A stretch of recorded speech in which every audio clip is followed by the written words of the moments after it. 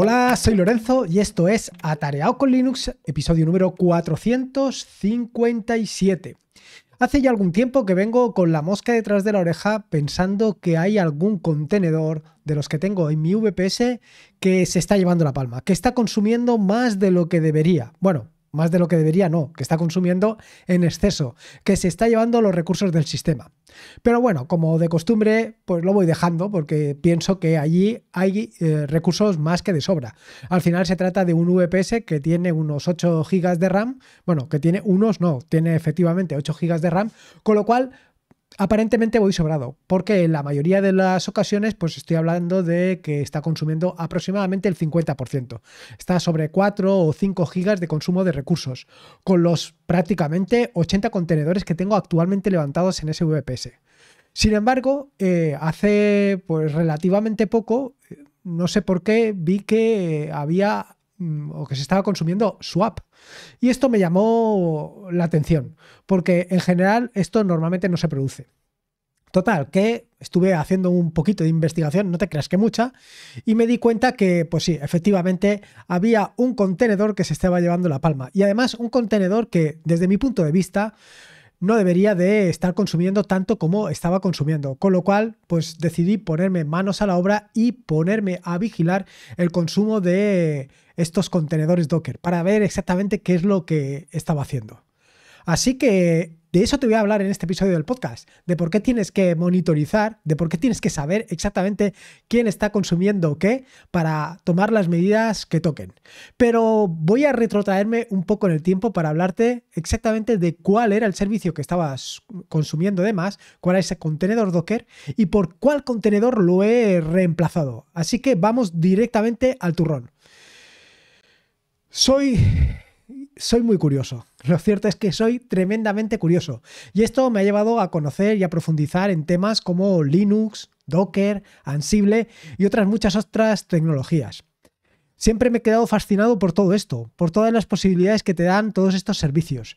Y de esto te he hablado en innumerables ocasiones. Y no solamente te he hablado en innumerables ocasiones, sino que esta curiosidad ha sido la que ha dado lugar primero al blog, posteriormente al podcast y por último YouTube. Bueno, no quiere decir que yo haya inventado YouTube, sino que poco a poco me he ido introduciendo en YouTube. Más o menos te voy contando pues todo lo que voy haciendo eh, a lo largo del tiempo. Pues eh, hay semanas que estoy muy pesado con el tema de Docker porque efectivamente es lo que más me interesa. Por ejemplo, recientemente con todo esto de que iba a dar un taller en en Linux Center de Slimbook, pues estuve interesado en, eh, profundizar un poco sobre este tema y claro, evidentemente esto se repercute o esto afecta a toda la producción que hago, tanto de el blog como de YouTube como de los podcasts, todo se ve eh, así. Pero igual que eso, pues hay otros momentos en los que los dedico a, por ejemplo, a la programación. Cuando estoy más metido con el tema de RAS, pues normalmente te hablo también de RAS. Cuando de repente me da por eh, liarme con Python o por liarme con otros servicios, pues te empiezo a hablar de esos servicios. Como ves, mi ámbito de interés, mis curiosidades me llevan a ser un picaflor, a estar probando una cosa y otra y durante semanas estar más metido en unas cosas y en otras. Por esto, cuando alguien me comenta que tiene interés en conocer eh, o en saber algo, pues redirijo mis esfuerzos hacia ello. Por eso siempre te hablo de el feedback, de esa retroalimentación, de esa necesaria retroalimentación para saber qué es lo que realmente tú quieres escuchar, qué es lo que realmente tú quieres que, que produzca, qué es lo que realmente o cuál es el contenido que más te interesa a ti. En base a esas estadísticas, en base a esa información, pues yo voy redirigiendo mi, eh, pues, mi producción para que se adecue, es decir, para que ambos caminos, tanto el camino de tu interés como el camino de mi producción, sean lo más coincidentes posibles. Sin embargo, como muy bien sabes, esto del feedback, esto de la retroalimentación, esto de decir exactamente qué es lo que nos interesa a cada uno, pues no lo llevamos a cabo. Es así, somos así de perezosos, todos.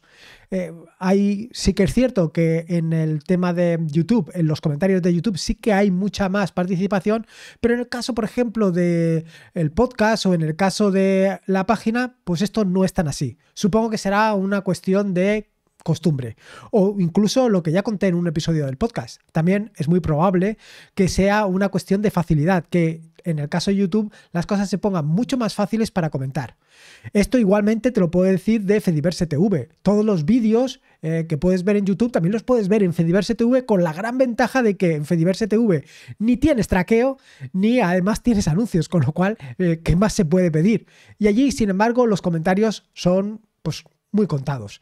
¿Por qué? Bueno, eso ya te lo puedes imaginar. Por un lado, por la cantidad de visualizaciones que tiene, que son inferiores a las de otros medios, pero que no debería de ser así.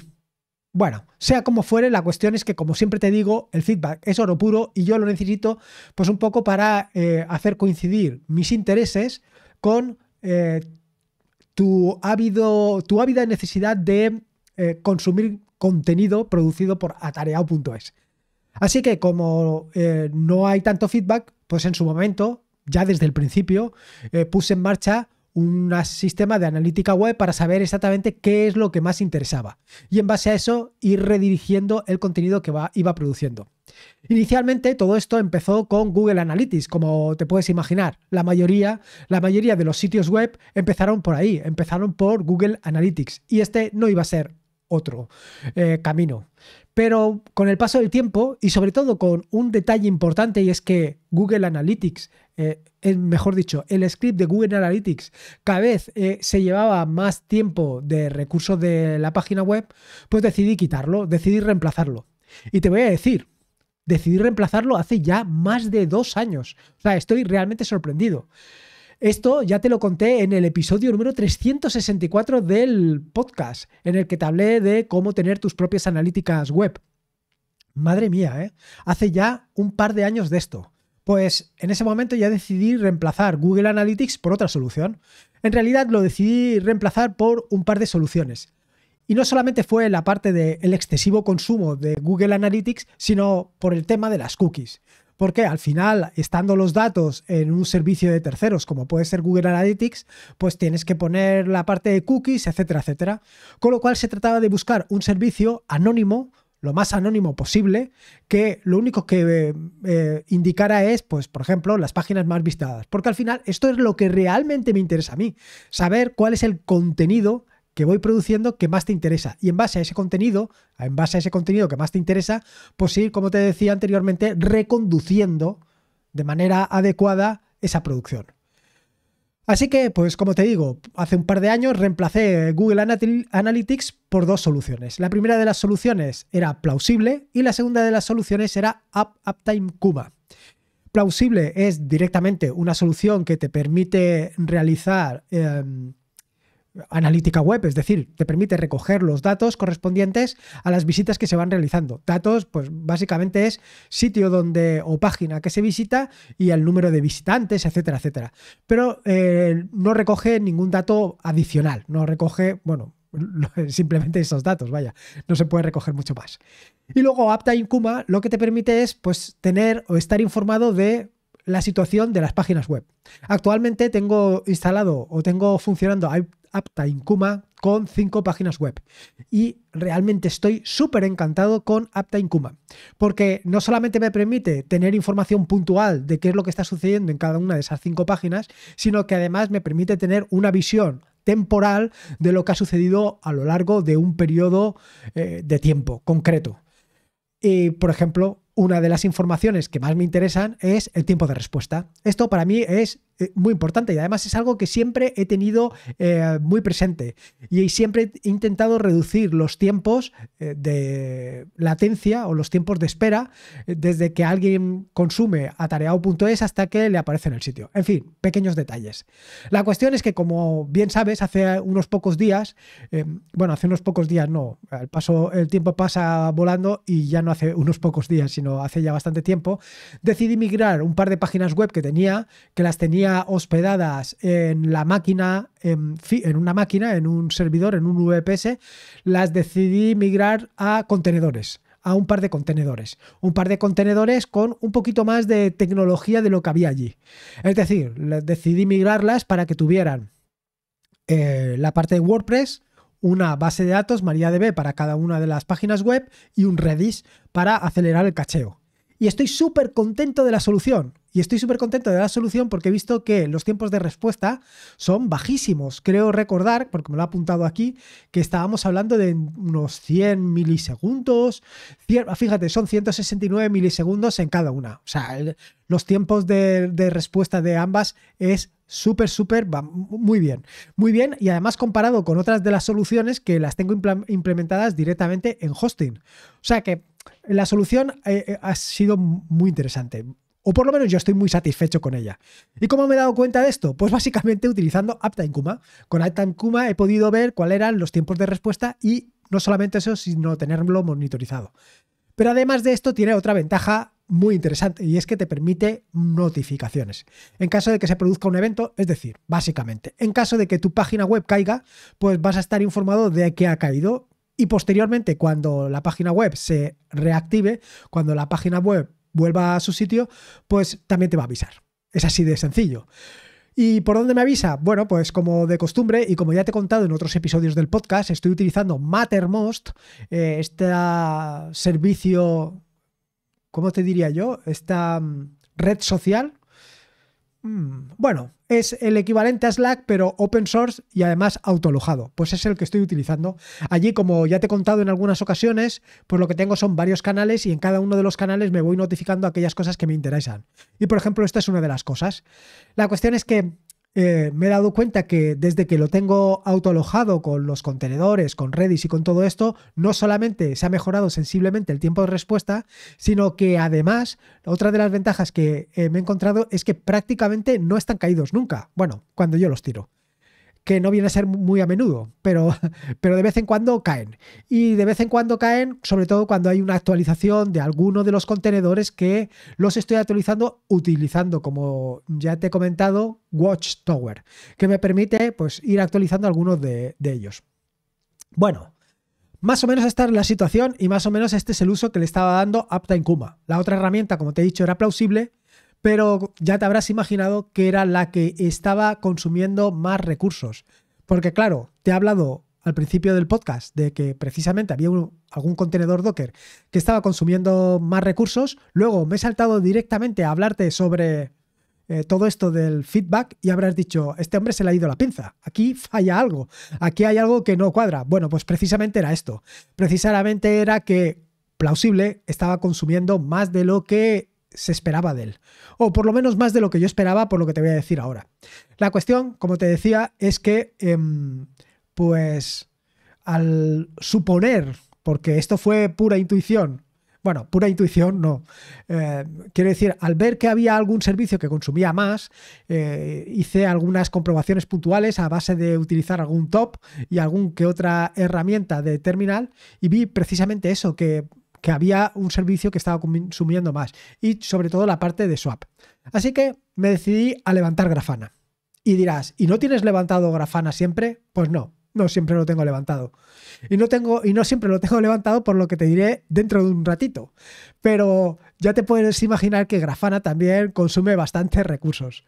La cuestión es que eh, durante unos días, durante una semana, tuve Grafana en marcha, estuve viendo exactamente cuáles eran los servicios que más estaban consumiendo y fue en ese momento cuando precisamente me di cuenta pues de eso, de que como yo me imaginaba eh, plausible era el contenedor que estaba llevándose más recursos.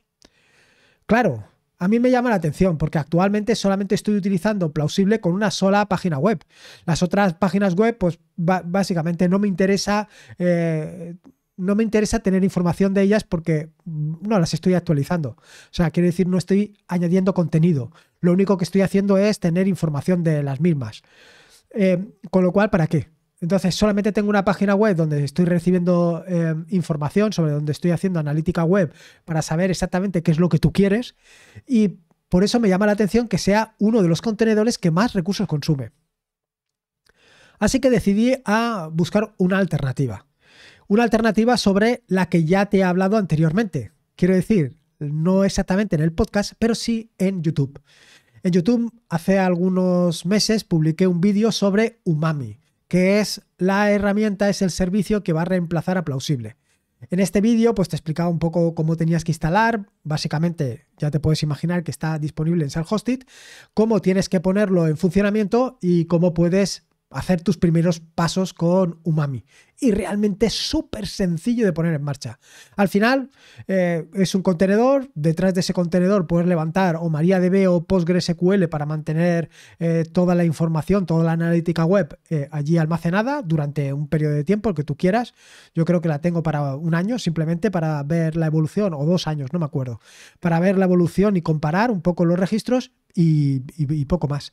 Sin embargo, Umami te permite hacer más cosas. Umami no solamente te permite eh, saber cuáles son las páginas más visitadas, sino que además te permite tener un seguimiento de los eventos eh, que se producen en tu página web. Quiero decir, eh, por ejemplo, si pones una un formulario con varios botones te permite hacer un traqueo de los botones que se pulsan para, bueno, pues eso, para, por ejemplo, hacer distintas operaciones. Yo realmente, y como te digo, actualmente la información que me interesa es conocer exactamente tus preferencias, más que cualquier otra cosa.